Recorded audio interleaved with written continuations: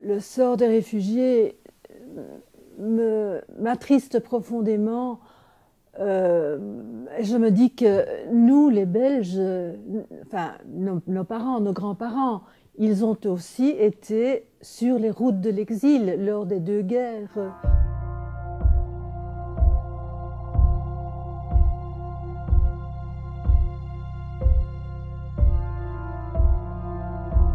Voudrais que tout le monde se rende compte que fuir son pays dans ces conditions, en prenant de tels risques, veut dire que l'on a été exposé à, des choses terribles. La guerre, les exactions, euh, euh, ce ne sont pas des gens dangereux, ce sont des gens qui sont dans la misère la plus totale et c'est notre devoir d'être humain de les aider.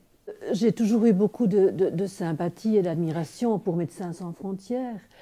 Et euh, lorsque j'ai su qu'ils agissaient euh, au parc Maximilien, je me suis dit, c'est le moment ou jamais de euh, participer financièrement dans la mesure de mes moyens.